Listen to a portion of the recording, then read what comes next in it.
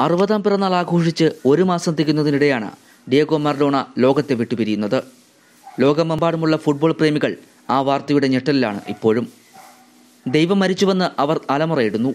ഒരു ഭാഗത്ത് ദൈവത്തെ പോലെ ആരാധിക്കുമ്പോഴും മറുഭാഗത്ത് അദ്ദേഹം ഒരുപോലെ വിമർശിക്കപ്പെടുകയും വെറുക്കപ്പെടുകയും ചെയ്യുന്നുണ്ട്. കൈകളിൽ ചെഗുവേരെ പച്ചകുത്തിയ മർഡോണ പക്ഷെ കളിക്കളത്തിലും പുറത്തും പോരാളി തന്നെയായിരുന്നു. അർജന്റീനയിലെ ബ്യൂണസ് ഐറസിലെ തെരുവിൽ നിന്നാണ് കാൽപന്ത് കളിയുടെ രാജകുമാരൻ വളരുന്നത്. ഫുട്ബോളിനെ ഹൃദയത്തോട് ചേർത്ത് വെച്ച് പ്രണയിക്കുന്ന അർജന്റീനക്കാരിൽ നിന്ന് ഒട്ടും വ്യത്യസ്തനായിരുന്നില്ല ചെറുപ്പത്തിൽ തന്നെ മറഡോണി ആയിരത്തി തൊള്ളായിരത്തി എൺപത്തി ആറിൽ രാജ്യത്തിന് ഫുട്ബോൾ കിരീടം നേടിക്കൊടുത്തതോടെ ചെഗുവേരയെപ്പോലെ മർഡോണ ദേശീയ ഹീറോയായി. മർഡോണയുടെ സുന്ദരമായ ഫുട്ബോൾ കരിയറിന് കരുനിരൽ വീഴ്ത്തുന്നതായിരുന്നു അമിതമായ മയക്കുമരുന്ന് ഉപയോഗം.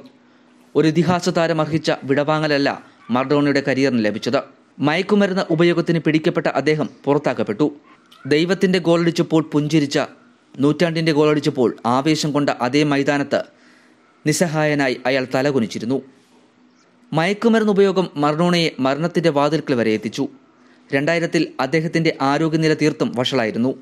എന്നാൽ ജീവിതത്തിലേക്ക് അദ്ദേഹം മനോഹരമായി തിരിച്ചു വരുന്ന കാഴ്ച പിന്നീട് നമ്മൾ കണ്ടു.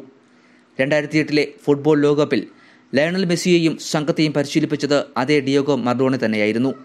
ഇതിഹാസങ്ങളുടെ ഇതിഹാസമൊടുവിൽ അറുപതാം വയസ്സിൽ മരണത്തിന് കീഴടങ്ങി.